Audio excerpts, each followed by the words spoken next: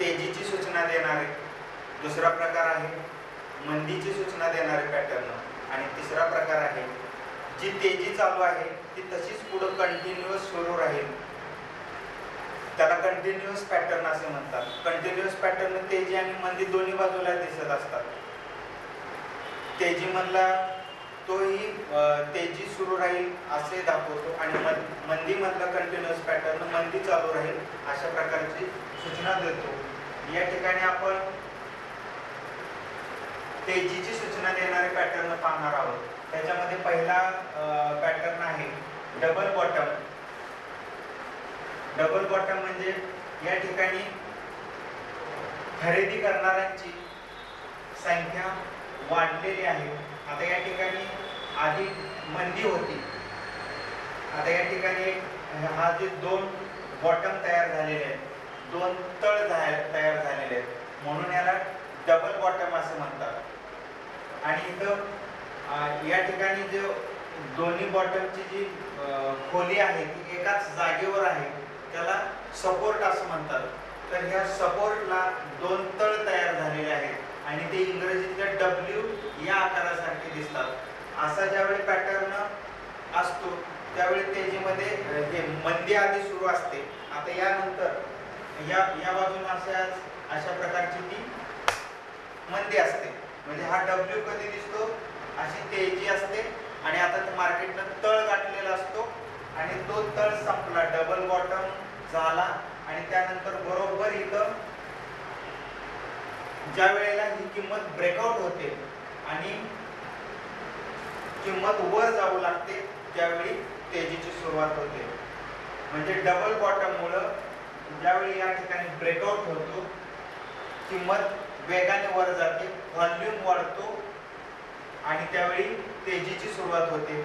आणि आपल्याला जर याच्यावर जर एंट्री आणि एक्झिट करायचं असेल तर या ठिकाणी एंट्री करतात खरेदी करतात. आणि विक्रीसाठी जे टार्गेट आहे तर ही जी उंची आहे डब्ल्यूचा हा मधला भाग आणि हा तळ ह्याची उंची मोजायची आणि तेवढीच उंची इथंवर तेजीसाठी ठेवायची.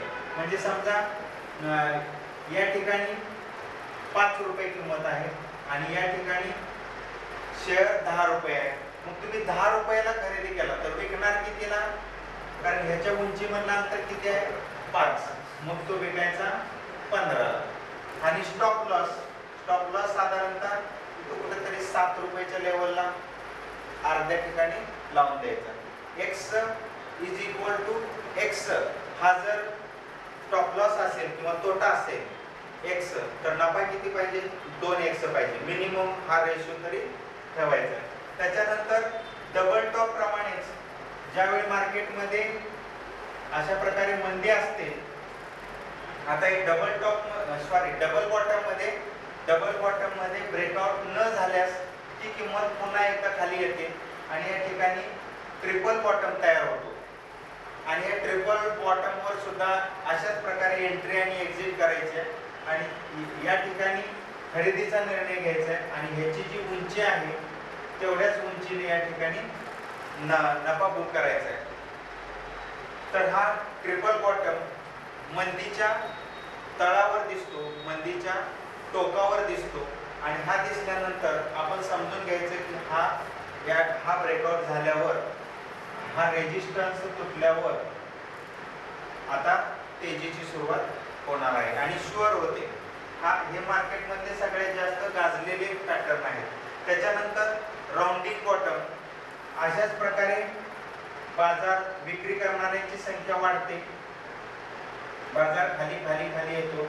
आणि जर अशा प्रकारची यू इंग्रजी यू आकारासारखी जर रचना तयार झाली तर किंवा अर्ध सर्कल अर्धवर्तुळ या प्रकारची जर रचना तयार झाली तर ती राउंड राऊंडिंग बॉटम असते राऊंडिंग बॉटम असते. या ठिकाणी खरेदीचा निर्णय घ्यायचा आणि विक्री कुठं करणार? तर हा जो रेजिस्टन्स पॉईंट आहे या पॉईंटपासून या ठिकाणी ही उंची मोजायची आणि ही एव- एवढ्या उंचीची या ठिकाणी विक्री करायची. त्याच्यानंतर समजा तो आपला वीसवर आहे.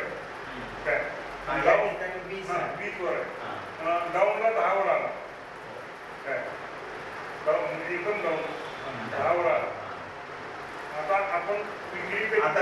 करताना वीस आणि दहा तीस. या ठिकाणी तीसला विक्री करायची.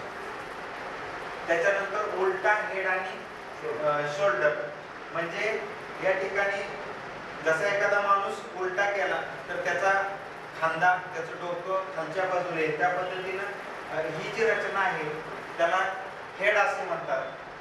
हे शोल्डर आहेत दोन. खांदे आहेत. आणि ही रेजिस्टन्स लाईन आहे. ज्यावेळी ही रेजिस्टन्स ब्रेक होते या ठिकाणी खरेदीचा निर्णय घ्यायचा आहे. आणि हा जो खांदा आहे हा हेटो या ठिकाणी स्टॉप लॉस लावायचा. आणि ही जी डोके आणि ही उंची आहे ही कंप्लीट उंची एवढं वर टार्गेट ठेवून नफा बुक करायचा. त्यानंतर सिमेट्रिकल ट्रँगल सिमेट्रिकल ट्रँगल चे जरा थोडे जास्त फायदे आहेत. हा न्यूट्रल पॅटर्न म्हणून सुद्धा ओळखला जातो. हा तेजीसाठी पण फायद्याचा आहे मंदीसाठी पण आहे आणि न्यूट्रल म्हणून पण ओळखला जातो. ज्यावेळी किमती अशा वर खाली होत असतात आणि दोन्ही बाजूला अशा निमुळते दोन टोकं होतात त्यावेळी तो सिमेट्रिकल ट्रँगल तयार होतो. आणि ज्यावेळी हा अनिश्चितता दाखवतो. न्यूट्रल पॅटर्न आहे. ज्या क्षणाला हा वरच्या बाजूला किंमत ब्रेकआउट होते वरच्या बाजूला. त्यावेळी तेजी असते. आणि ती तेजी किती असते? तर आता ही जी रेषा आहे याला समांतर आपण दुसरी रेषा काढायची. आता हा ब्रेकआउट झाला असता आणि याला समांतर रेषा काढायची. तिकडून. ज्या ठिकाणाहून हा सिमेट्रिकल सुरू झाला तिकडून. आणि याला समांतर रेषा काढायची. आणि जिथं कुठं ती वरची रेषा जुळेल त्या ठिकाणी नफा करायचा. आणि मंदीमध्ये त्याच्या उलट होतं सिमेट्रिकल ट्रँगलला खालच्या बाजूनं ब्रेकआउट होतो. आणि खालच्या बाजूने ब्रेकआउटच्या वेळी तुम्ही अशा प्रकारे ही कंटिन्यू रेषा आणि ह्याच रेषेला समांतर रेषा काढायची आहे या बाजूने. आणि जे टार्गेट मिळेल ते खालच्या रेषेला जोडून आपण नफा बुक करायचा. त्याच्यानंतर असेंडिंग ट्रँगल असेंडिंग ट्रँगल हा अशा प्रकारचा या बाजूने समजा किंमत अशी आडवी जाऊ लागते. आणि बराच वेळ मार्केट असं रेंजबाउंड होत होतं. आणि ज्या ज्यावेळी या ठिकाणी ब्रेकआउट होतो त्यावेळी तेजीची सुरुवात होते. हा ट्रँगल एक प्रकारचा काटकोन त्रिकोणासारखं दिसतंय.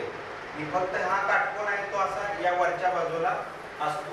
किंमत अशी आडव्या लाईन मध्ये असते आणि किमतीची उंची जी आहे ना ही अशी कमी कमी कमी कमी कमी कमी होत जाते अशी. म्हणजे खालच्या बाजून अशी कमी कमी कमी कमी होत जाते. मंदीमध्ये ह्याच्या उलट असतं वरच्या बाजून किमती अशा खाली खाली उतरत जातात आणि त्याचा काटकोन या बाजूला असतो. तर तेजीमध्ये किंमत अशा प्रकारे वर वर जाते. साधारणतः अशी उंच जाऊन पुन्हा एका ठिकाणी स्थिर होते आणि बरोबर ह्या आ- आडव्या रेजिस्टन्सच्या खाली या प्रकारे वर खाली होत राहते. अशी तीन चार वेळा वर खाली होते आणि वरच्या बाजूने ब्रेकआउट होऊन तेजीची सुरुवात होते. यामध्ये पण ट्रेड करताना आपण ही जी उंची आहे ती समजा ए आणि बी ही उंची मोजायची आणि या ठिकाणावरून ए आणि बी ह्या समजा आता बी आहे ह्या ह्या बी ला बाय करा आणि ए ला सेल करा. या उंची एवढं टार्गेट घ्या. म्हणजे समजा या ठिकाणी पाच रुपये या ठिकाणी दहा रुपये मधलं अंतर झालं पाच. तर इथलं टार्गेट किती होईल? पाच रुपयाचं म्हणजे इथून दहा तर तुम्ही विक्री करणार पंधरा रुपयाला अशा प्रकारे असेंडिंग ट्रँगलचा व्यवहारात उपयोग केला जातो. त्यानंतर cup and handle cup with handle pattern तर आपला जो चहाचा कप असतो त्याप्रमाणे हा राऊंडिंग बॉटम सारखाच आहे. परंतु याला एक छोटासा इथं कपासारखा आकार तयार तयार होतात. किमती थोडा वेळ अशा येतात. पण त्या खूप छोट्या असतात. अगदी कपाच्या दांड्याप्रमाणे असतात. म्हणून त्याचं नावच आहे की कप विथ हँडल हँडल असणारा कप. फक्त दोन्हीमध्ये हँडलचाच फरक आहे. हा सुद्धा तेजीचाच पॅटर्न आहे. जोरदार तेजी येणार आहे अशी सूचना देतो. आता जी आपली निफ्टी आहे निफ्टीमध्ये मला वाटतं डेली किंवा विकली चार्टवर कप विथ हँडल पॅटर्न दिसलेला आहे. आपण प्रोजेक्टरवर पाहू. आणि त्याच्यानंतर आत्ताची तेजी चालू आहे.